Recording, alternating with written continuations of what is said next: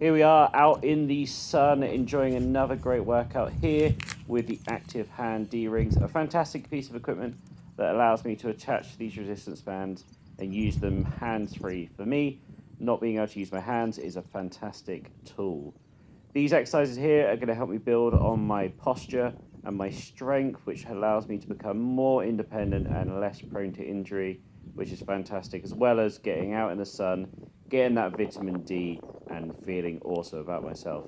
Give this one a try, let me know how you do, and I'll see you next time.